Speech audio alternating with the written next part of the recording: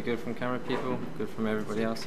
Alright, so I'll probably start off with hello everybody, I'm Benjamin Lupton.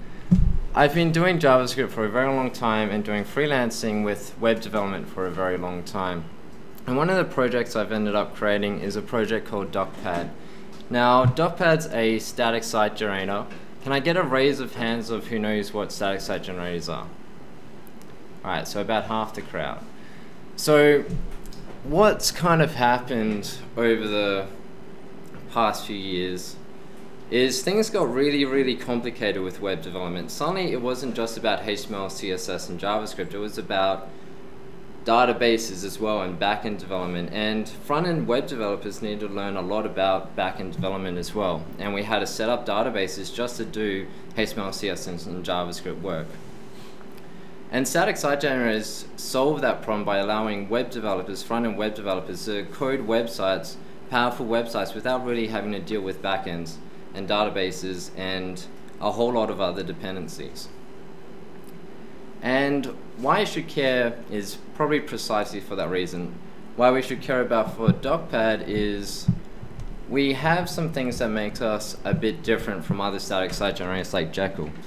Jekyll is probably the most popular one. It came up by one of the GitHub co-founders called Tom Preston Werner, I believe. Um, however, it's a bit limiting because it's only designed for a specific use case, which is blogging. And when I discovered all about Jekyll, I was like, this is such a great idea. Like being able to do away with these backend stuffs, empowering web developers to, to be able to do all that stuff without backends. And we're like, booyah, that sounds awesome, but I want to use this for more than just blogging. And it's kind of like there was an evolution of programming, or at least in web development over the years. Over in the 90s, we just had HTML, CSS, and JavaScript, and it was pretty fun, right? There was not really any dependencies, and we hacked on it, and we could see what we were doing pretty easily. Then around 2000, we started getting abstractions. We started wanting to do more. We wanted to be able to pull in content from other places, and we didn't want to have to redo our layouts every single time. So we started using technologies like PHP or like Ruby, and eventually things got even more complicated because then we had to start using things like Rails and WordPress for blogging and Django and all these different CMSs front-end web developers stopped being front-end web developers and they started becoming CMS developers. And it's kind of like, why? Why do we have to do this when it's detracting so much from our actual skill level? And not only that, as we start applying these abstractions on the back end, we also open up to security problems as well. Because back in the 90s, we just had HTML, CSS, and JavaScript. It was basic. We just served it, and that was it. We just did a simple job.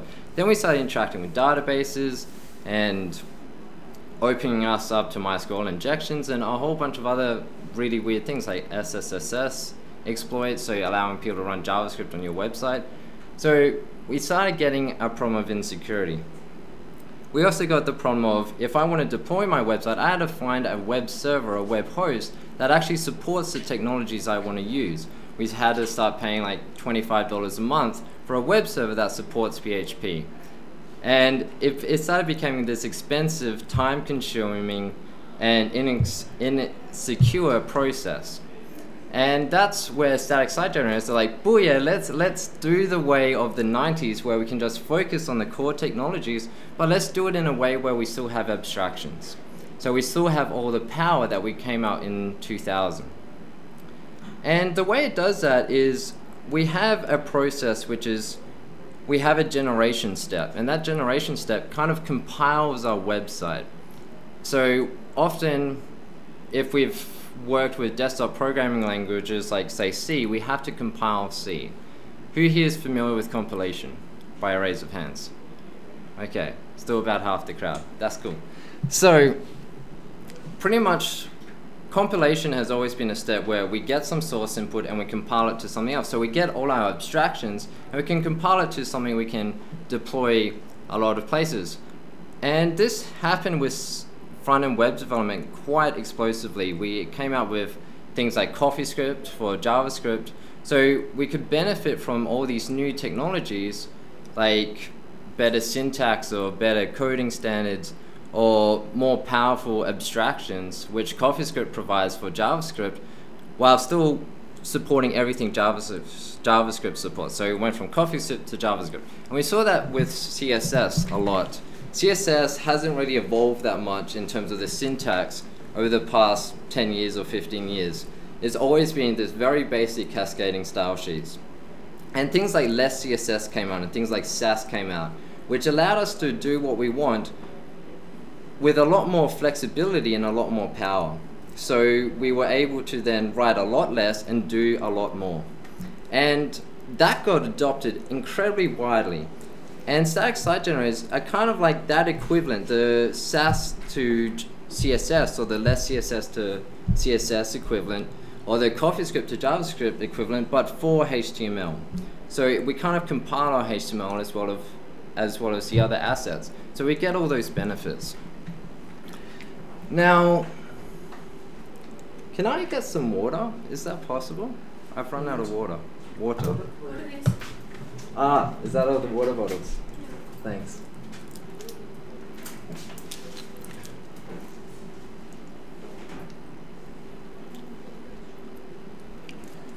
So, from there on, let's actually, I'll skip the kitchen sink for now, and we'll go with getting started. And we'll just jump straight in, if that's okay with you. Alright, so let's make a new website. So, my website. CD into it. And the way we install DocPad is pretty easy. We install it with the Node package manager and we just write that and that'll install it to our computer.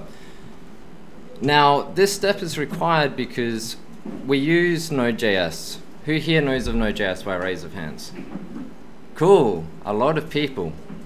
So Node.js allows us to run JavaScript on the server side. Suddenly, these web developers who could only do what they love in the browser are now empowered to do it on the desktop side as well. We can now interact with the file system, and we can do so in a very unique way. Node allows us to do multiple things at the same time without having to worry about complicated things like threading, which is really amazing. It takes the event system we're used to on front-end web development, like jQuery on click handlers, or jQuery, like when the DOM's ready, and allows us to apply that same principle on desktop applications. So it allows us to accomplish a lot without that much actual code or requirements of understanding how the intricacies of desktop programming actually need to work. And Node.js exploded. It's used by Cloud9, Mozilla, LinkedIn, tons and tons of people. Right now, these are the showcases, and there's so much evidence for why JavaScript on the server makes sense. And generally with PHP, we've had to go about it in a way where we serve it via Apache and you receive a request and then it dies, right? So you do all your programming, or it, you receive the request, it does all its work, and then it just falls down, it dies, and it forgets everything. And that re process repeats every single time. When Node is a lot more similar to C Sharp or C programming, where you we write something that stays alive the entire time. So with Node, we actually write the web server ourselves. So Node allows us to do some pretty interesting things in regards to networking, but it also allows us to do a lot of interesting things with the file system because of its abilities to do multiple things at the same time, so it can be quite fast. now, to install Node.js, or to install DocPad, we have some instructions, which is just right here. This will go into how you install Node.js for Windows and Mac and things like that. It, it's quite simple. And there are our latest instructions on how to install DocPad. Once we've got DocPad installed, so if we run that it'll go away and install it, generally when we get want to go with our website, we'll create a new directory for a website. We've already done that, and then it's as simplest running docpad run. This will great. So what it's just done is it's detected we're in an empty directory, and it's asked us if we would like to start with an existing project. So there's things like HTML5 boilerplate, Twitter Bootstrap, kitchen sink, my own website here and even DocPad's website, along with a whole bunch of others that have been submitted by the community, which is quite nifty, so we can get started pretty easily. Right now, though, we'll probably we'll probably just get started without. Let's think. Let's think. Actually, I won't use a skeleton in this case because we'll just get started with the very basics and I can show you how it all works. So we'll actually say no skeleton and it'll just go and it'll create our stuff. And if we edit this directory, we'll see that it's created the source folder for us. This is where the source of our website goes. And we have three directories here, documents, files, and layouts. What on earth are these? So layouts are probably what we're quite familiar with if we've done web programming before. So it allows us to abstract like our header and our footer into a particular section so we don't have to keep recoding it every single time. Files are just standard files that we don't want to compile. For instance, images or just a standard JS file like jQuery. We never want to compile jQuery. And documents are files we do want to compile. So for instance, markdown to HTML. So let's just get started and we'll start writing a basic hello world page. Now, generally with HTML, it, it's a bit ugly. We have to write all this boilerplate. So, hello world.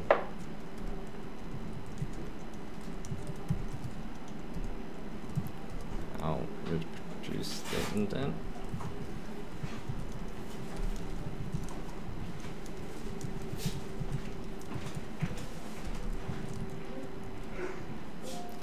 And we can see right here that DocPad's already detected that and it's regenerated our website. And we can see now we have this out directory, which is where it's actually compiled the source. So it's figured, okay, we've got this source file which we just wrote, let's compile that to our out directory. Now it hasn't needed to do anything because so far we're just writing plain HTML. But if we want to write like another page, for instance, I don't know, maybe Hello Mars, we have to start writing all of this again with the way we traditionally do things. And it's a bit ridiculous that we have to do this. No one wants to duplicate and waste their time. Emmet? Yeah. This is cool. Did you know the Emmet website is done with DocPad? Aha. So yeah, there's a way so we can do this. How is it? It's like I I have Emmet installed. What's the actual short key for that? yeah. See, so that's one way we can do it. We can short make the process of writing this easier, but we still have this duplicated stuff. We still have okay. Hey, oh, I love that. And then probably, ah, oh, isn't that nifty? So, hello Mars. But if we would change, perhaps if we add some more stuff here, like our, I don't know, what what commonly goes here? Maybe our char set, meta, I don't know, name char set. Oh, our style sheets as well. So we have all this other stuff that goes here, and we don't want to have to copy and paste that between every single page we write. And that's where layouts come in. We're probably very familiar with layouts. So let's actually go and create a layout now and find out what this will look like. Let's just call it the default layout. And as soon as we start applying abstraction, I'll just copy what we wrote from index and I'll paste it into the default layout. And let's say, so this would be our page content, right? This would probably be our page title. And we would actually go about this by just adding it in this metadata section. So we'll say, our title for this page is Hello World and we want to use this layout default. And then everything inside here becomes our content. So in this case, it's hello world. And then let's make it a bit different from the title so we can actually see. Nice to see you today. It's all good to wake up in the morning. And now in our layout, we would start using templating engines. So it becomes as easy as writing document title, if I can spell correctly. And then our document our content. oh no, just content here. So let's take a look at what this now becomes. Just that. Can anyone guess why?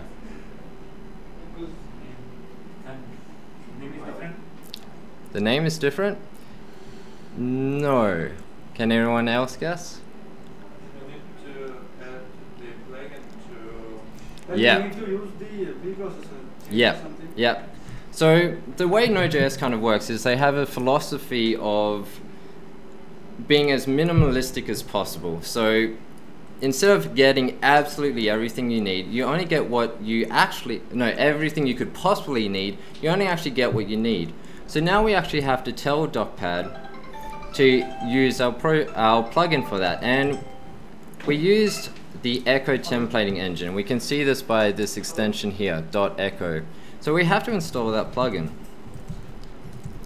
And installing plugins is just like that. Now this will go to npm, it'll download our plugin, and this plugin now installs this Eco dependency, and Eco has this dependency and this dependency and this dependency. So let's go on and install this. Now, at the currently we have to rerun DocPad when we install a new plugin, but perhaps we'll change that in the future. So if we refresh, we now have that pretty abstraction and we can see by our title for a thing, it's actually inserted it there. And if we view the source, we've got what we wanted, right? We've now got the benefit of having layouts, the abstraction of layouts. And as we can see, in our out directory, it's now compiled that. It's compiled our source directory into this index.html file that we can deploy anyway because it's not doing anything special. It's not dependent on this layout engine once we've actually compiled it. So unlike say PHP where we have this which goes, or in PHP we'd probably do it something like this. PHP require maybe our header, right? .phtml. And every single time we receive this request, it goes away and it re-renders it every single time. When this way, it renders it once and we can deploy that anywhere. Does everyone get that? Yes? Sweet. So, yep. Many other templating engines does uh, DocPad support? As many as you want. So, it, it's just run by plugins. So if we would jump to the, that's my company's website. If we jump to the plugin section, these are all the ones we currently support and the conversions they do. Which one do you prefer? I I like to use whichever one's best for the circumstance. so generally I find Eco, which is what we use right there, is the most beginner friendly because it's very similar to HTML. It's very similar to eRuby or PHTML, the ones we've already gotten used to. Um, when we, yep. So uh, I, am not sure that uh, applies, but so is this like uh, I can only use it for static static data, or uh, can I also use it for dynamic data? Good question. We'll jump ahead and I'll answer that right now for you. I've got that a bit later. So let's say on our layout, because we've already got our layout dynamic, or using a templating engine, we want to add a dynamic thing. So let's say math.random. So Eco just executes CoffeeScript inside here. We could make it JavaScript, but then if we're starting to do if loops, we have to do all these brackets and maybe a thing like that, and it gets a bit messy.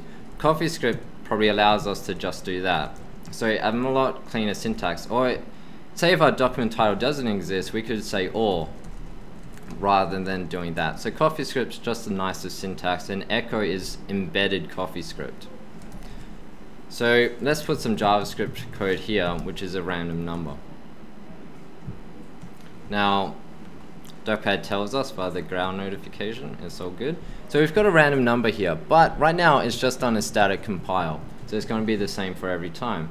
But if we want to make this dynamic, so it re-renders on every request, it's as easy as saying, probably restarting our DocPad instance as well. Ah, it doesn't work because it's in the layout. minor technical detail so I'll add that to the page because the pages are dynamic. It's not the layouts that are dynamic. So if we make this index file actually dynamic, we'll be able to do this. Restart our DocPad instance. Sometimes the watching works, sometimes it doesn't. It's it is most of the time it works, like 99%. We, we're going through like a rewrite of the watching right now to make it a lot better. Um, still a few problems here and there. So sometimes you will just have to regenerate. Like if you're renaming files, you may actually have to restart your DocPad instance. But if you're editing files, you probably don't need to. Like 99.99% of the time, you don't need to. Oh, this could be Let's try it this way. I don't have a clean URLs plugin installed, so that's the reason why. But we can see here it hasn't been added to our index.html section. I mean to our out, it hasn't been compiled once. Instead it compiles on every single request. So doing dynamic stuff as you would in PHP is as easy as just adding this dynamic true flag. So Okay. I, I got a question. Yeah. So, uh, uh, how does this dynamic stuff work on, on server? Yep. So for the dynamic stuff, we use the DocPad server, which is a Express.js server, which is an extended version of the Node HTTP server. So if you're doing dynamic stuff like this, then you would have to deploy to a Node.js server. You couldn't just deploy to Apache, right? Because it doesn't get generated into our out directory. However, there's another way to do dynamic websites, or at least provide the illusion we have a dynamic website. A good example, does everyone mind this digression? Is this a cool thing to learn about? Sweet. So let's say for the Balupton website, my website, I just, hopefully the resolution supports it, it does. So right here, I've got this dynamic content. So it's pulling in my GitHub stuff, it's pulling in my Twitter stuff, my reputation here is dynamic as well, my rankings on GitHub are dynamic, my followers, all this stuff is dynamic data. So during the generation process, it pulls all this dynamic data in and compiles our website. Now, the illusion here is that I actually tell DocPad to regenerate every hour. So I can benefit from actually having it generate once, but it will generate every hour. So it gets this illusion it's very, very, very fast because of this. That's another benefit of static site generation I didn't go by because if we're re-rendering everything on each request, it becomes incredibly slow. When if we're doing, actually, I've got like a benchmark, but we have benchmarks which we can see, but generally last time I tested it, DocPad can serve 4,000 requests a second with the Node.js server. So that's pretty cool because it's just serving static content. So I'll cover this a bit later. I'll go into more detail about how we accomplish this pulling in the external data. So let's get back to our basic stuff. We'll remove this extension and we'll go back to our st standard stuff. And we've got rid of that dynamic tree. So again, it's compiled it to our out directory and we're all good. So let's make this Mars page dynamic as well, just to showcase layouts for those who are quite new to web development. So, hello Mars. Hello Mars. You're a long way from Earth. I should get some less tabs perhaps. Alright. And if we go to Mars, then we get that benefit, right? We've got our layout, we can see in the title bar, we've got Hello Mars. So now we've got the benefit of layouts. But we can go a bit further. We can always go a bit further. And let's find out how. Probably live reload, that would probably be a good thing. So it's getting a bit annoying that when I say hello, I have to refresh my browser, my browser every single time. So I'll close you. I can just close you. So wouldn't it be nice if every single time I save it, my browser actually refreshes? We would all like that, right? And this is something where initially I was just like, this isn't that cool. You know, I, am used to just pressing Command R and refreshing my browser, but it really does make the process a lot easier. So we'll install another plugin. So the Live Reload plugin.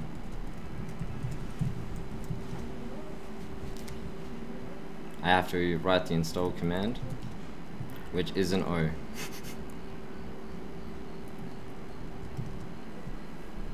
and this is another benefit of Node.js because Node.js, because it's able to do so much stuff on this networking, this this node, the web server level, we're able to do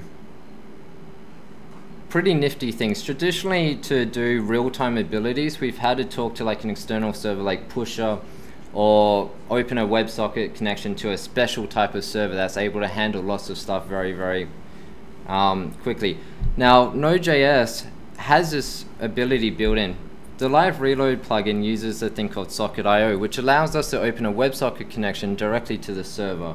And in the instance of the Live Reload plugin, we actually open a connection from our browser directly to the DocPad server. And the DocPad server tells the browser, hey, look, I've been regenerated right now. Now, if I actually, I'll restart my DocPad server. Now, if I write stuff, it didn't work. And it's because we haven't actually told our template right now that we want to use live reload. We have to start getting a bit more advanced right now. So this then becomes get block styles to HTML, I believe.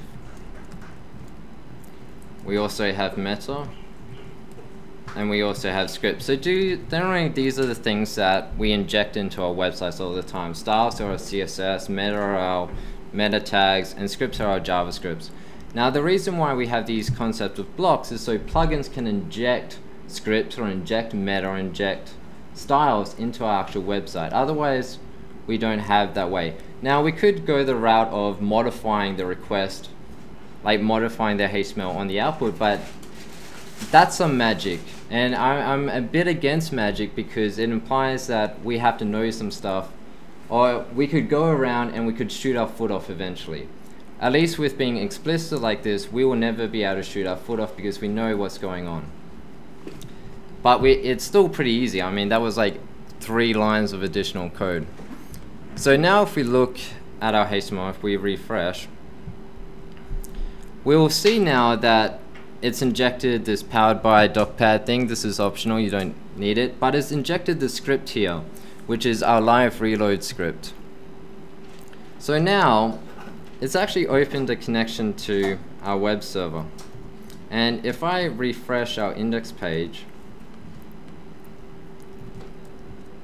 see we can see now that it's reloading automatically because of this live reload script.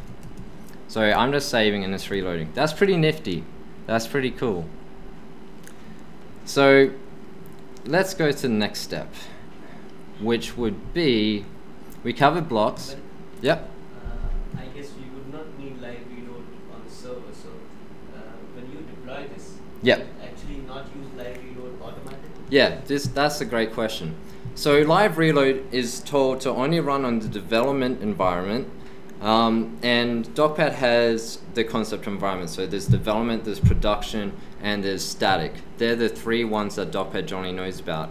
So production, some preprocessors have the ability to minify directly on that. So it'll detect, okay, we're in the production environment, minify right away. So compile, minify the outputs for our CSS, JavaScript, and things like that. Um, the live reload plugin is told so when we're on a environment that isn't development, disable it. So right now, I'll close this one. I'll get back to here. So we'll see, yeah, it's compiled it right here. So in our output, our static output, we have the script stuff. But if we were to deploy to GitHub Pages or Apache, we would actually tell DocPad, I think it's generate, generate. We'd tell it to compile for a static environment. And doing so, we don't get the live reload or any other dynamic ability. This comes into play with the Clean URLs plugin as well because if we're running on the Node.js server, then this is nifty. Because the Clean URLs plugin just cares whether or not we're on Node.js or whether on a static environment. If we're on the Node.js environment, which is anything but the static environment, then it would actually just extend the Express.js, the Node web server.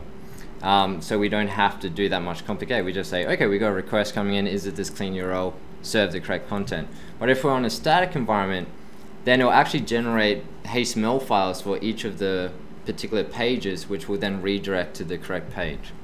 So nifty stuff going on there. Good question, great question.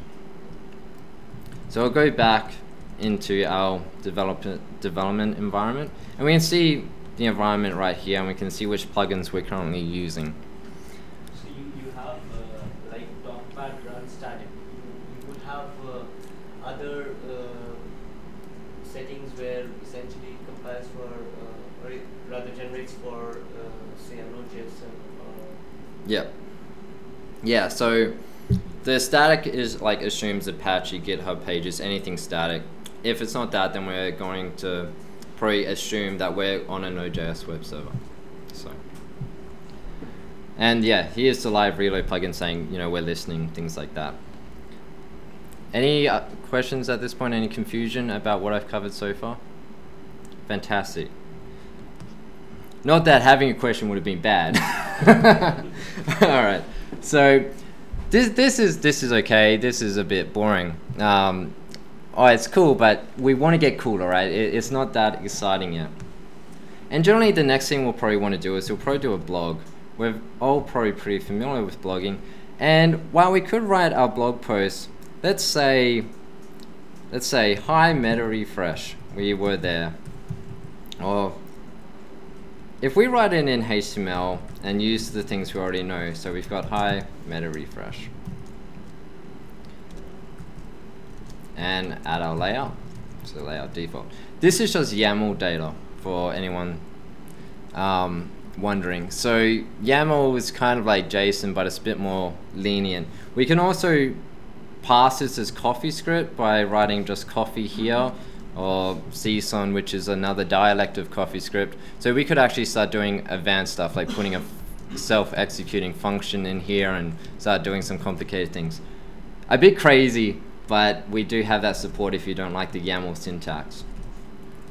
So let's say um, that was such an amazing conference. India is awesome.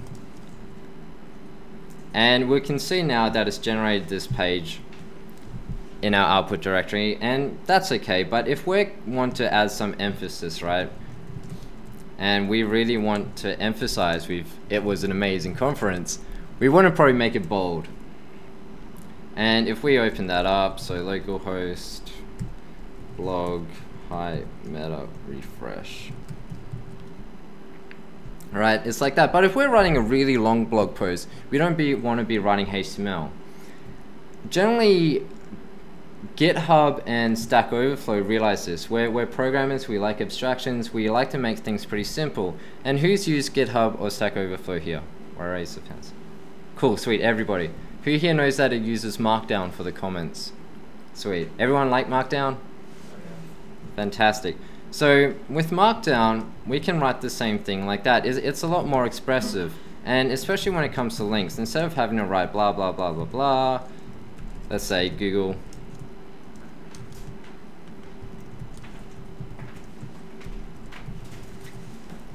Okay. That would actually become Google and then the link here. It just allows a bit more expressive way of writing things. So I'll save that and let's go about doing adding markdown. So we'll add markdown and we'll install the plugin. Now markdown has a few different varieties of the dialect. We've got the GitHub flavored markdown, we've got um, like the standard Gruber one, there's lots of implementations. The one we generally use is marked. Mark supports the GitHub Flavored Markdown by default, but it's implemented in native JavaScript, so it's really, really fast. Originally, we just had Markdown, but as the dialects continue, we added support for the different dialects. So now you just pick the dialect you actually want. Yeah. Uh, do you use DocPad to maintain a blog? Yes. What do you do if you want to blog uh, mobile blog? A mobile blog? What do you mean? Say you're uh, on your mobile, you want to blog something. Yep. What do you do? This is the advanced stuff. It's, yeah, I'll cover that later in like how we can extend this even further. So that's when things like start getting. Cra- we're on the intro to like craziness right now, or like excitement. So Um, I have a quick question. Yeah. How do you add classes or IDs in Markdown? I mean, it's out of the topic, but still. Um, so GitHub flavored Markdown. Oh, with marked, there's two options. One is like sanitized, and one is like without sanitization. So by default, we have sanitization turned off, which allows you to just write HTML inside it. Um, okay, so that's gone ahead and generated all of that. And where am I? Oh, that's the output directory. So see how we have HTML right here? So because sanitization is off, we can just write HTML as well. So we'll restart our DocPad server. And let's check that out. Oh, I renamed the one in the output directory. Silly me. So I have to add that extension. Now, who here has worked with Rails before? So one person. So a nifty thing Rails does is it's got a thing called an asset pipeline, which allows people to kind of go from Markdown to HTML. So there's this conversion, and just like for Eco to HTML, a lot of thing that other compilers do is they would just have dot markdown here and then it would compile to HTML. So it assumes there's only one way we can compile a particular language. Something like CoffeeScript can actually be compiled to HTML rather than just JavaScript. There's dialects to support that. So we're quite explicit in the way we can do things. So this goes directly from Markdown to HTML. And this ability allows us to, if I add the Eco extension here, to go from Eco to Markdown to HTML if I want to add some more dynamic abilities to my Markdown document. So right now we can see that it's now rendered our Markdown. We've got that old link here, we've got the H, the new link here, this bit here renders to that, and we've got that rendering to that, and our amazing rendering to that. So we're now starting to discover, hey, we can now have preprocessors for pretty much whatever I want. But we like to add some more dynamic stuff. I no one's going to go to my blog and then know exactly that, hey, this was this is the link I need to go to. I need to start adding a listing of my content. Now, I could go about this, like if I was in the 90s, I'd probably say, okay, I'll now code and say blog hi meta refresh. But that's not that, that maintainable. Whenever we have to add a blog post, we have to redo it here.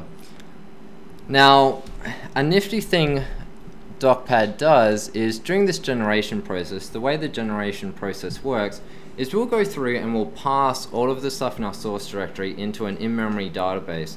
That database is powered by Backbone.js. So everything is added to just a Backbone.js collection.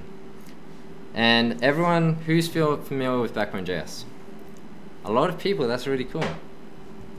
So, but by default, Backbone.js doesn't really provide us with a way of querying our collections to really say, okay, find me everything that matches this, or find me all of this that does that. It, it provides some comp like these pragmatic ways where we can write some code to be able to do it, um, like add a function and things like that. But really, we like a really simple syntax to do it. And Mongo has a great syntax for this. Mongo database, like a NoSQL syntax. So let's actually make this index.html page a eco, so we can start adding our listing, adding some dynamic stuff. And we'll say, okay, for post in get collection, so in our documents, um, find all that have the relative actually uh, I think it's relative out path out uh, let me check. There's always good thing that about having great documentation. Docs template no is metadata so all this documentation is actually written in markdown and we generate it with docpad. So we can find out the thing we actually want. So relative outdoor path that's the one we want. So that's the directory the relative directory of the relative path of the directory that blog post goes in. So we want to whoops wrong place make that equal Can I uh, can I reduce the font so I can actually see what I'm doing? Can people still read that? Fantastic. How about that? Is that too small? That's okay. So that that's good. All right. So relative after path blog to JSON. Now.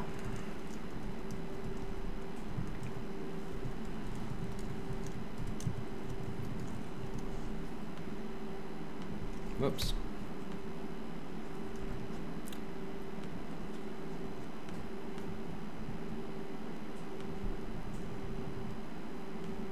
That's a bit odd. Let's add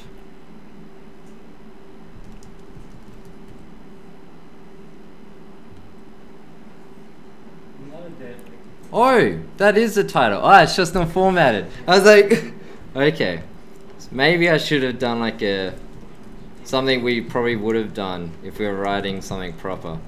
I like it how people are paying attention. so there we go. So we've now got this listing. So we've got a few collections, um, which is the documents collection, the files collection, the layouts collection. There's some other predefined ones that we have, but what we're saying right now is for all the documents, let's get everything which has the output directory path of blog. We could also make it so I can say What exactly is documents referring to? The, the number of uh, out, uh, uh, the number of uh, HTMLs that it's outputting and all. Yeah, so I'll just close this directory and we'll just get rid of this find all part. So we can actually see everything that's in there. And let's just say, let's make it the file name instead. So the documents directory is just everything, or the documents collection is just everything in our documents directory. Now, we could do it by get database and then get everything that DocPad's aware of. Um, generally, we don't want to do that because we have some intelligent generation, so we only regenerate what we actually have to. And if we use get database, then if we modify anything, then DocPad's going to think, okay, we have to re-render this page.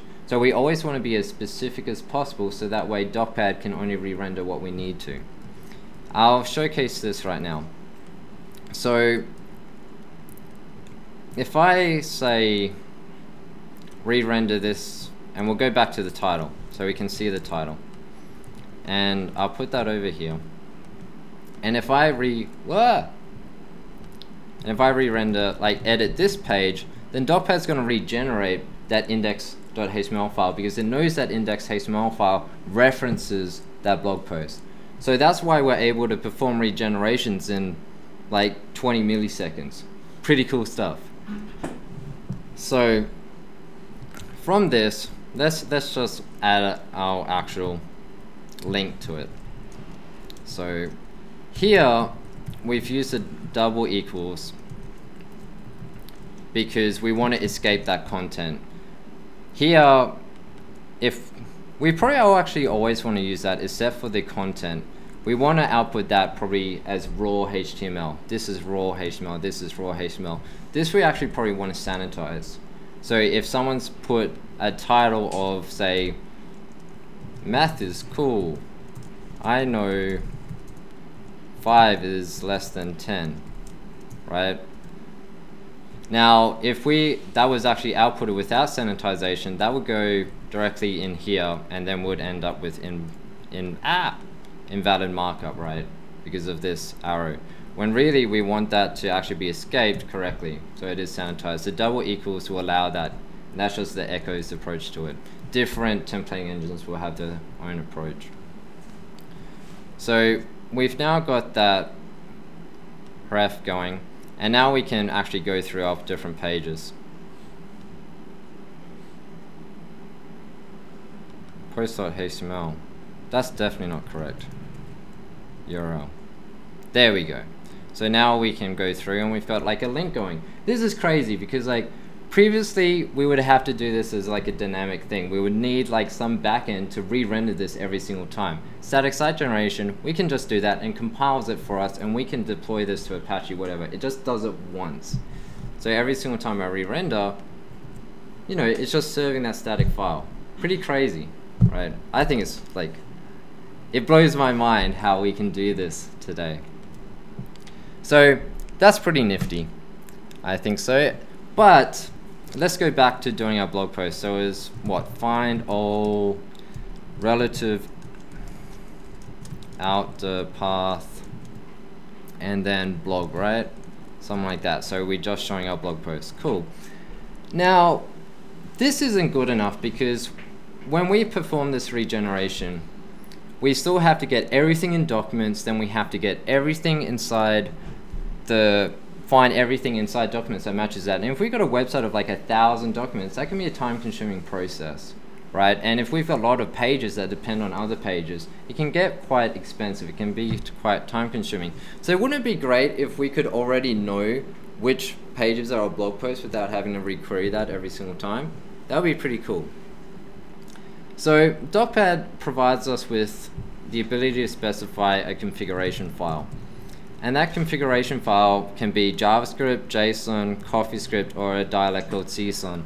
There's different reasons why we would use the different ones. For now, we'll use just plain old CoffeeScript.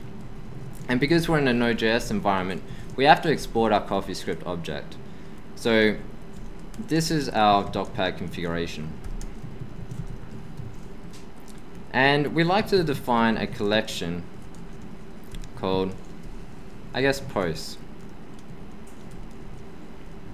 And we like to say get the collection, or rather we like to pro just copy and paste.